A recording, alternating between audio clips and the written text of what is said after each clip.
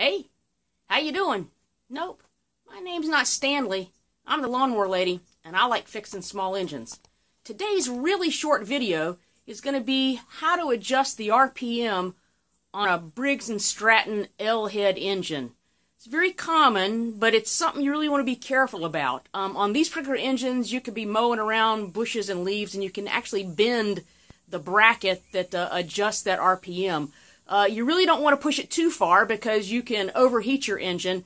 Um, I use a tachometer to do this. A lot of people just use their ear, but generally speaking, if it runs slow, it runs sluggish, you're having trouble getting it to go through grass, you could probably adjust your RPM just a little bit. Watch this video.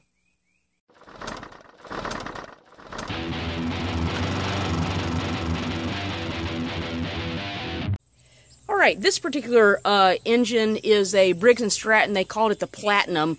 Um, it's a 7.0 uh, engine, and this is the L-head version. If you notice, there's no valve cover under there for uh, any valves. Um, but this is a very common engine. It's a little older, but it's a really common engine uh, to have some problems in case uh, the actual bracket is just right behind that slot right there. So it's easy if you get into some weeds or some branches or whatnot, you can adjust that and pull that spring out of place. So I'll show you how we do all that. All right, on this particular engine, um, the governor return spring is attached right under this plastic cover. Phillips screwdriver, get that top off of there. All right.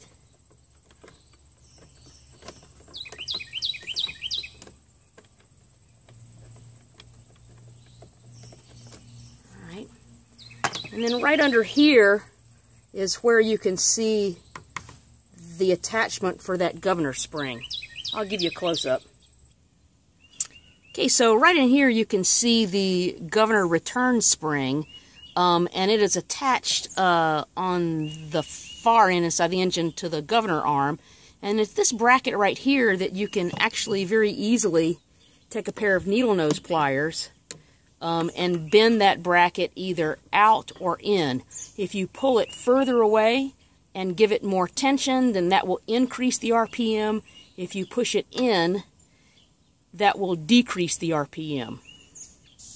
Now, the particular device I use is a digital tachometer. Uh, this is a no-contact version where you actually hold the probe just anywhere near where the spark plug is, and it will read out uh, what the particular RPM is. Um, that's good um, because if you uh, don't use some device, you know, if you go by your ear, which is okay, you know, and generally speaking, if it sounds like it's running crazy fast, it probably is.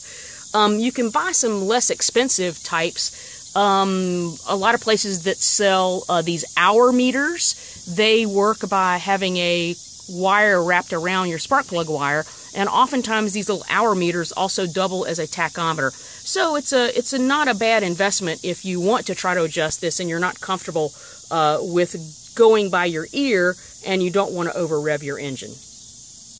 All right, gonna fire this up and um, I will adjust it. I'll speed it up and then slow it down and try to get it back to where it was. You'll be able to hear the engine RPM changing.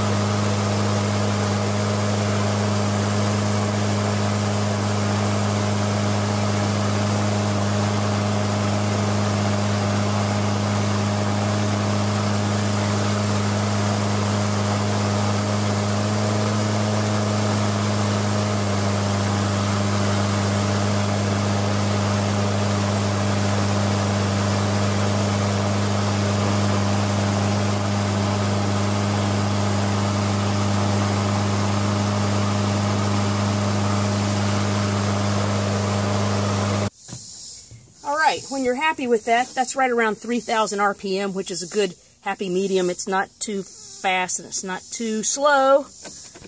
Put that cover back on there. And this mower is good to go.